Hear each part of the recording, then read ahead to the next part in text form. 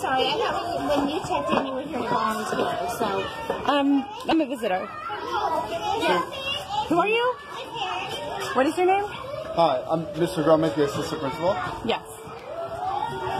So we have to, uh, we, we allow parents to come in and eat lunch and stuff like that. Uh-huh. So this is recess. I was I was invited by Miss Flanagan. Okay. Yeah. But, um, and the other thing is, you're doing that, I could set you in a different room. You can send me into a different room. What does that mean? have some privacy. I, I don't need privacy. Would I you- would prefer that. You would prefer privacy. No, for you. I don't need privacy. Do you, you would prefer privacy for you? Well, we could talk in a different room. I actually don't want to talk in a different room. I think we need to. This is.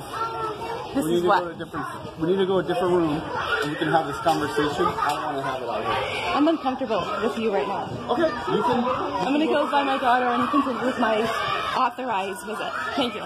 No, I would rather. Oh. Yeah, no kidding.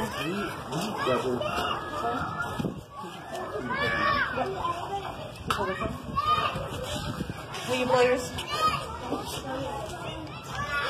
What's going on?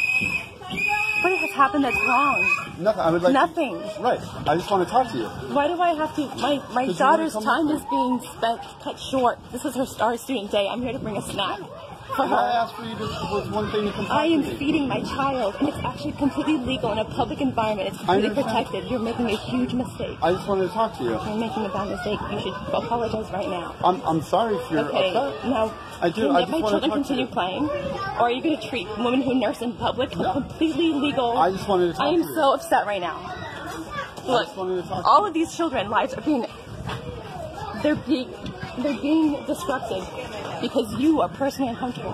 No, I'm not uncomfortable. I, I want to talk to you and have a conversation. I just don't want to have Let's it out talk. here Hi. because there's little kids and other adults around. This is a private conversation.